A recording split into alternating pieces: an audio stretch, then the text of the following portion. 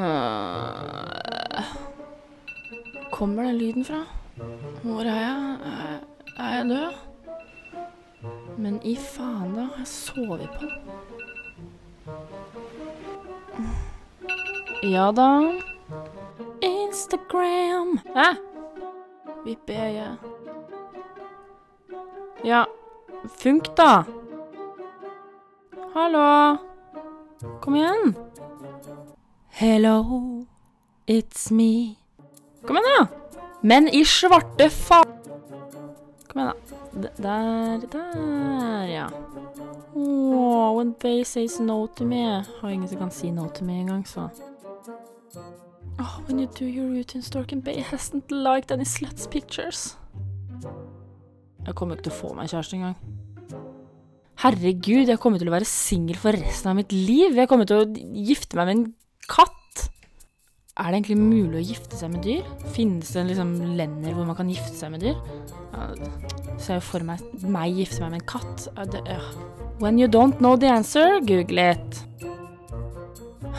Herregud, sitter jeg faktisk her og googler om man kan gifte seg med dyr. Hvem faen er jeg? I'm a dead person now. Akkurat nå føler jeg meg død. Jeg lurer på hvem som hadde merka først at jeg var død. Herregud, tenk om ingen merker at jeg hadde dødd. Tenk om jeg er en av de som havner i VG. Død kvinne funnet etter tre år.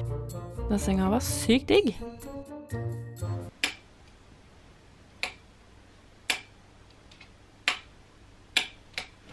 Å, herregud, hva er det jeg driver med? Må jeg bæsje, eller må jeg ikke bæsje? Tyngdekraften er spennende. Hvilken hånd faller først? Å, herregud. How low can you go? How low can you go? How low can you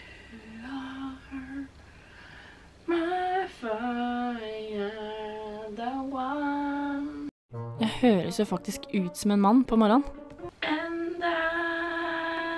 Jeg tror faktisk jeg må bæsje. Skal jeg gå naken eller ha på klær? Stretchy, stretchy, get ready in the morning and get stretchy, now you're ready. Men hva faen skal jeg ha på? Husk at du fremdeles er en lykka person.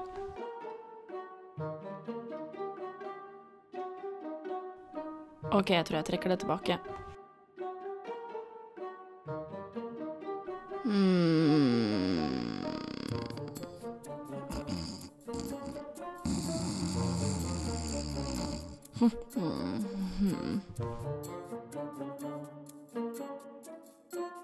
Å, fy faen så stygg man er. Ser vi antydning til monobryn?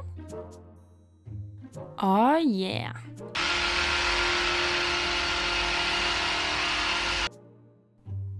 Bart da, eller? In the jungle, the mighty jungle. Yes, bare 20 nye kviser. Det er rekord. Altså, hva er det greiene her? Jo Æh, fitte. Not so fabulous. Åh, men svarte faen. It's all about attitude.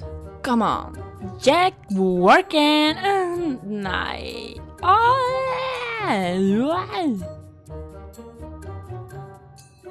Blir like stiv av vann som man blir av hvem. Åh, jeg blir så rød i øya. Ah, fy faen. Smør kvisene vekk. Smør kvisene vekk. I gotta work it. Tørke fjeset mitt fortere med denne, tro. Ja, da gir vi oss for i dag. Nelly has left the building. Yeah!